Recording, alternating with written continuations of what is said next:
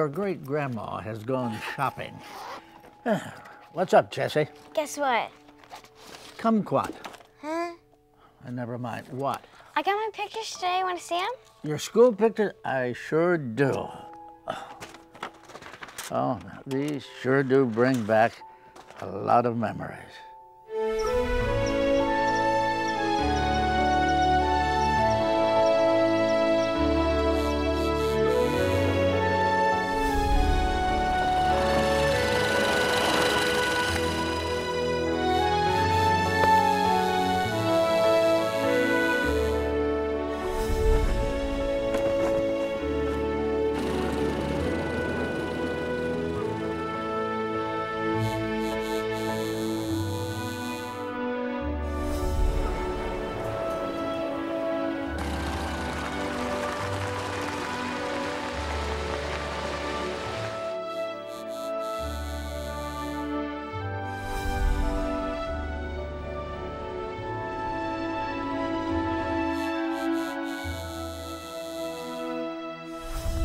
Seventy-five, eighty-five, and ninety. Thank you very much, Miss Joan. Laura, you just look absolutely beautiful today. Can you tell me what the occasion may be? I gave my school pictures taken. Now remember, smile for the picture man.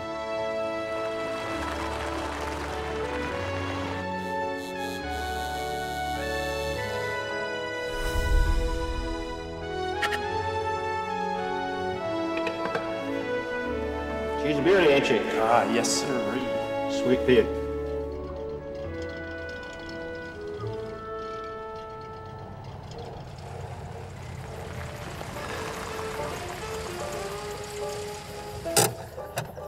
Listen to me, Eldy. The 7th Street plan is working overtime. Reno's going gangbusters. We just hit 2 million in sales. We've got more than 100 guys in the field, but the reorder department is on top of each other down there. Marion's office is in the cold bin, for God's sake. I know, I know. Hand tinting is going on in ladies' homes. We've got to think about more space. And funding? Where are we going to get that? Subeck just got us in with Northwestern National Bank. Oh, yeah, no thanks to your golf and card games. Yeah, I heard that. Yeah, Fill her up? know you did. Ah, never thought you'd ask. Fill her up and top it off. That's my motto.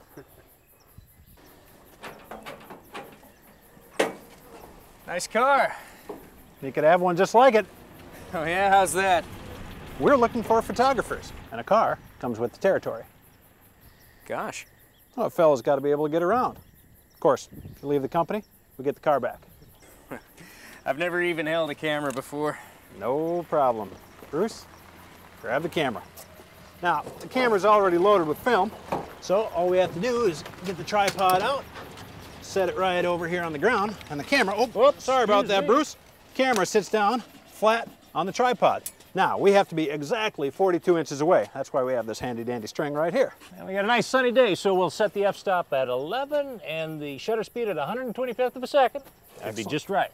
All right, now we have the cable release right there. You come over here. When you push that button, you're gonna be taking a picture.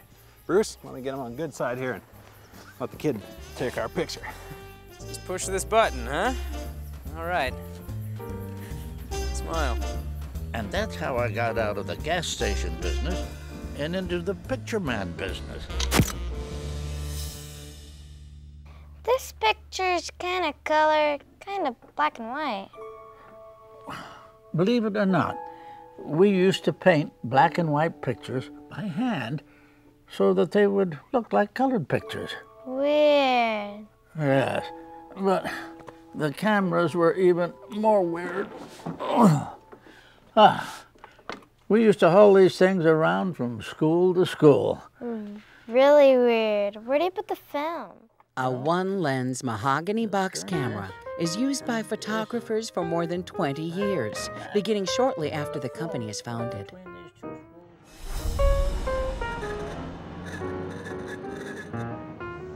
We came to Minneapolis, opened, rented a little room over lun- lunchroom on 321 Hennepin, and uh, we were in business. Of course, we had limited uh, resources. We had about $250 apiece, but that managed to see us through. And with our, uh, we had a small product, uh, three pictures for 20 cents, six for 35, and 12 for 50 cents, and one for the teacher. The founders debate between calling the company R&R Studios or Rothgeb and Reinecker. They settle on National School Studios, school photography of distinction. The rent is $35 a month for a 1,000 square foot office. Way, way back uh, in 1937 when I was a simple bank clerk at the First National downtown. But I was asked to go to a little company called National School Studio. So I, uh, I called at their office the next day, pad and pencil in hand, and I come and I meet the two of the biggest guys I've ever known in this little dingy office above a Baltimore Dairy Lunch.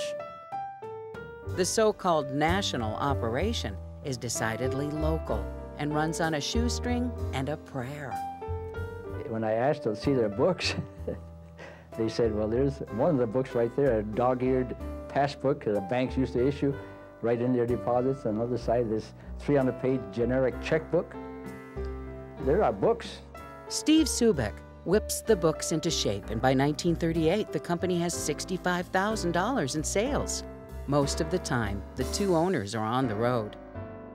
Mr. Picture Man, do you take other kids' pictures at other schools? I sure do. As of last week, I've got 47 other schools, to be exact. 47? Holy cow! Every photographer is also a salesperson working on spec. If mom and dad like the pictures, they can buy them, and the school gets a 10% commission.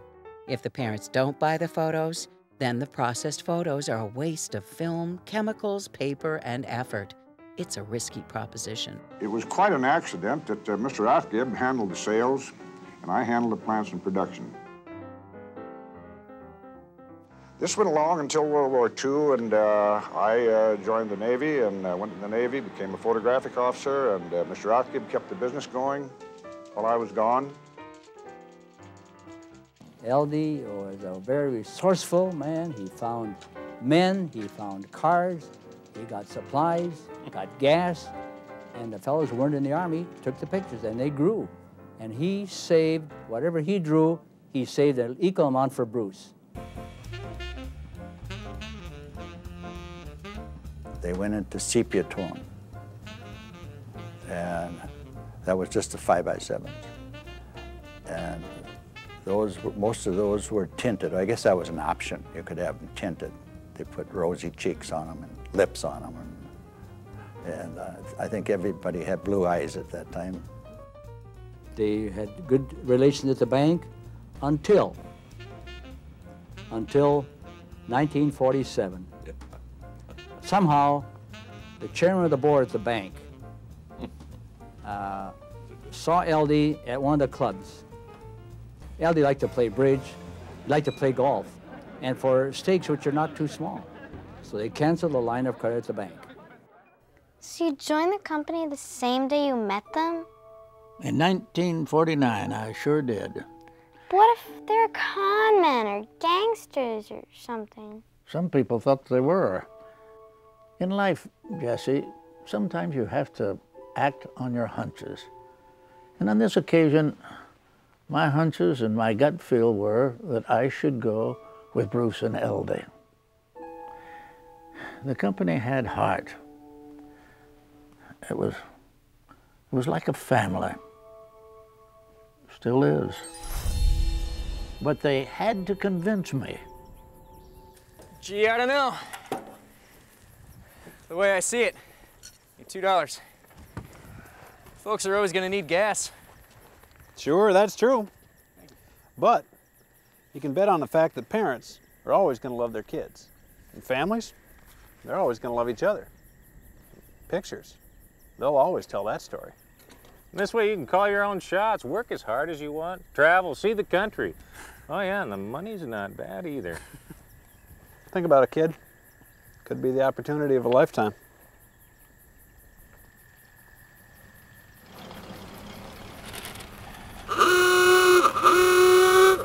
Hello, can we get a little help over here? I think we're lost. I'll think about it. All right. Hey, they were great salesmen, and I'd be lying if I didn't admit that they sold me on the company that day. Sold me on the magic of being a picture man. I never regretted a minute of it. It was hard work, though. I would rent a place in a town, draw a circle on the map around the town, and hit as many schools as I could in one or two days.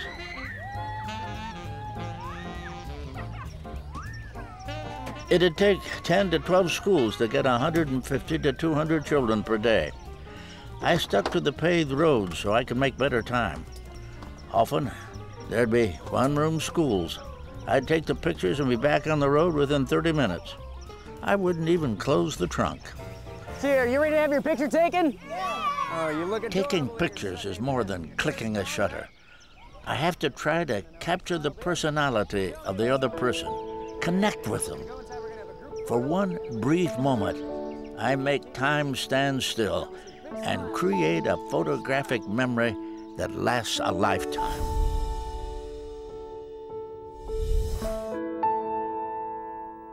At that time, Rothgeb was more or less, he was the sales force. He ran the sales force. And Reinecker, he ran the plant part of it. And we very seldom, we weren't allowed at that time to have any association with the sales force. And they were they could not come back into the plant. It was a lot, mostly, mostly women of all ages, uh, all the way from teenagers on up uh, to, to, you know, retired ladies. A lot of women did start at National School Studios knowing that they could have a job in the fall until Christmas and earn extra money for Christmas presents, carpeting, drapes. We worked on Thanksgiving. I mean, everybody came to work on Thanksgiving. We worked half a day, we'd start real early in the morning and maybe go home about noon. And our husbands would make Thanksgiving dinner. Um, and everybody, everybody was there. They all carried their load. There was some partying going on, both at the, uh, you know, both at the plant level and the, and the, and the sales level. And there was half a dozen of the men in the back room. They had, well, what you thought was pitchers of water, but they were pitchers of martinis is what they were. By the early 50s, National School Studios is living up to its name and has photographers working in 48 states. NSS prints yearbooks and opens a plant in Winnipeg, Canada. Three years after Kodak introduces it, NSS adopts color film for school photography. That same year, the Reno plant opens, and NSS Territory Manager Cliff Erickson recruits his younger brother, Richard P. Erickson. I said, well, when do I go to work? And he said, well, tomorrow. And I said, well, I don't, I don't know anything about a camera. He said, well, there it is. And I got back in the car and I was so relieved it had gone well. I was so proud, you know, I ran back home.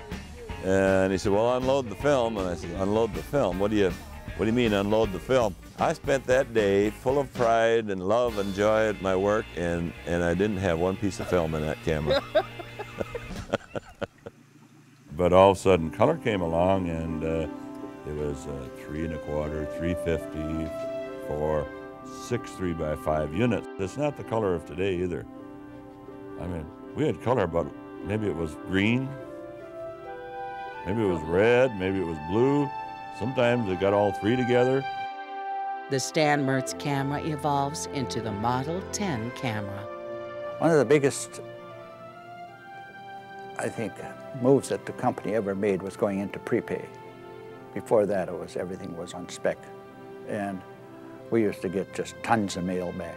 Prepay really turned that company around. You know, I, I think that if we were still on the old spec basis today, there wouldn't be a Life Touch or National School Studios. The company is outgrowing its facilities and so buys swampland for $5,500 an acre. A 72,000 square foot plant on Picture Drive opens in September of 1968. March 30th of 72, and we get the word, Bruce and I, back home that LD is passed, passed on. That was tough, you know, it was a shock for everybody in the field because everybody just, everybody focused on LD. L.D. Rothgeb was the man for the company. He was the only one who could make it run at that time for those span of years. Not that we didn't like Bruce, but Bruce was not involved with the field at that point. And it was just a real shocker. Well, right away he had offers, you know, from outside people that morning. He said, those sons of beehives will never get close to this company. At least let the poor guy get his honor and his due. Bruce realized very quickly that he needed someone key to help him keep the sales organization going, and that's when he looked to the field and, and he found Dick Erickson and convinced him to come inside and, and help him keep the organization going. The company grows by increasing sales and by increasing capabilities through key acquisitions. Universal Publications joins NSS in 1973. Well, it was mostly black and white. Almost every book was pasted up. Um, coming from the high school market where I had been familiar with books, I was a little shocked when I first looked at the books, but it didn't take me long to realize that there was a lot of blood, sweat, toil, and tears put into those books. And one of the things that they didn't have in their program was senior pictures. So we were doing more of those senior pictures, and we had that, and consequently then we became the kind of the senior pictures in the undergraduate we'd sent to national, and it worked out very, very well. We just grew like crazy, you know, for a long period of time. In 1977, the company hires a young executive from the accounting world. There was something special about the place. I, I you know, it was an esprit de corps, a feeling. Uh, the, the the people really were like, this is really passion here. I mean, this is something that I haven't seen in business. Then I, we were doing about $9 million in business at that time, and I, my, my dream was to get this company in the hands of the people who worked for it and help make it grow and prosper. Dick and I met at the airport that morning. We flew out to San Francisco for lunch. We interviewed with the firm, and we were back that night. And uh, that was the beginning of the ESOP. We were all invited out to the Sheraton Hotel for dinner, and uh, Mr. Reinecker made the announcement that he was giving the company to the employees. Well, absolute shock. The American people are the greatest giving people in the whole world.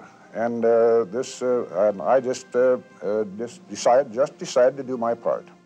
Technology and the introduction of the Micro Z camera helped the company grow. the development of it was painful because it, it was a device that really did not want to be born. And it was, um, there were several sort of revolutionary things on it that hadn't been done before. And then in 1983, National School Studios bought Kinderphoto International. Kinderphoto is the third largest child portrait photography business in the country. And with its addition, NSS nearly doubles in size. Retail is so different. Uh, what you have in the school business is a captive audience. But then what happens in the retail market, you're out trying to solicit each one of them. So it was very exciting. A lot of new people, a lot of people that moved from Reno or from Charlotte, North Carolina, and uh, it was it was a very exciting time. Trying time, but exciting. And then um, in 1984, they changed the name to Lifetouch. And uh, then, of course, it was supposed to be the big secret, but stuff started coming in boxes marked with the new name, and you know, so it was kind of getting out. Did you take this picture? Take it. Honey, I'm in it.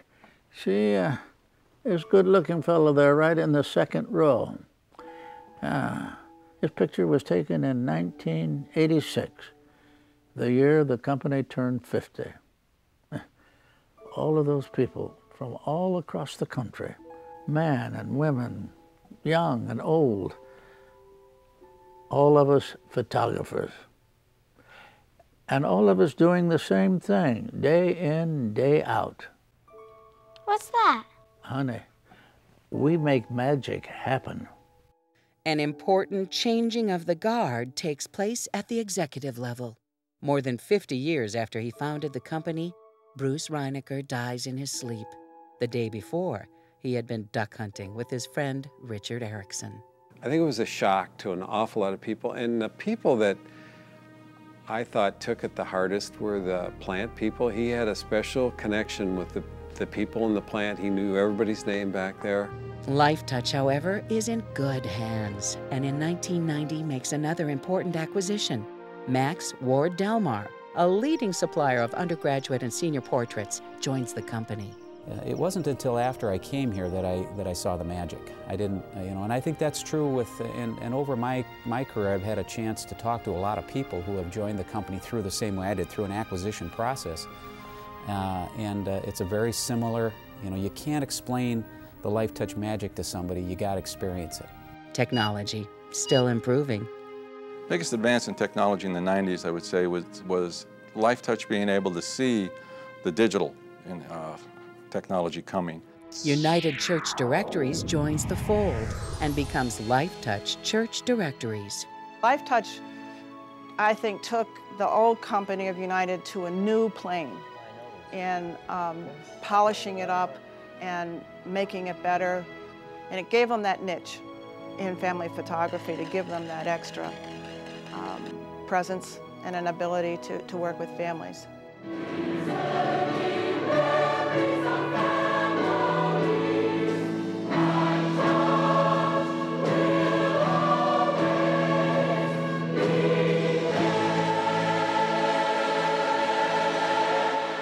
Life Touch turns 60 and continues to evolve, improve, thrive, contribute to others, and innovate. Over the last five years, we've converted all of our production facilities over from film-based optical printing over to laser-based digital printing.